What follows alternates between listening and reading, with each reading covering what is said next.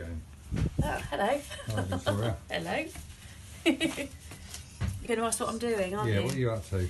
Well, we're going to be. We're no, actually. Um, what we're going to be doing is stopping up all the seams now. We've put the oakum in, and that's all been hammered in. Um, but now we use the putty to fill in the gaps. It's really more for how the boat looks. What, the seams? The seams, yeah. Um, it's aesthetics in a way because the actual oakum provides the seal, cause, and we've also primed over it. But this will give a flatter surface when we paint, and it does add a bit more protection. So what I'm doing now is I'm just getting So the what sort of putty is that? Just normal putty. This is just normal, normal glazing putty.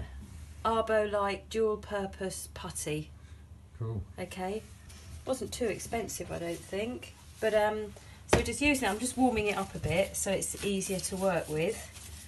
And then you put a little make it into a little bowl. Gloves are too big. Make a little bowl. And then you get some linseed.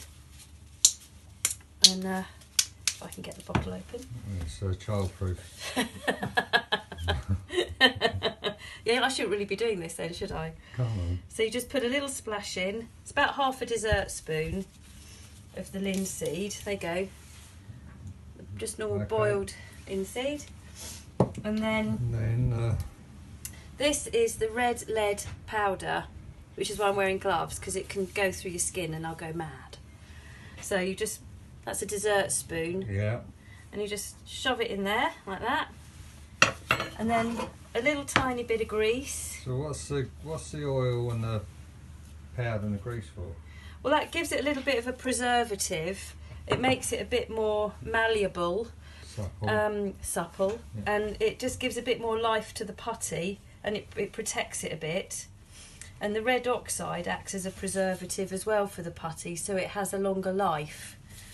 So then what you do is you literally just start mixing it up. Kneading. So you knead it really well, and that's the idea. Just really, just really work it. It's quite therapeutic actually, except my gloves won't stay on.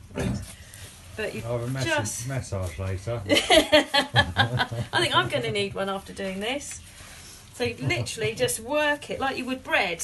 I don't any of that stuff on my back though. But for you boys who don't bake, I don't know what an, another example is actually to say Oh. what it feels like. Anyway, should we just look So, at one that you've done? I've got one that? I've prepared earlier in true. Blue Peter style. on then, show us. So there you go, look. So there. oh, lovely. So that's so it's nice and supple and you can trowel it into the seams. There you go. All right. Thank you very much. Bye.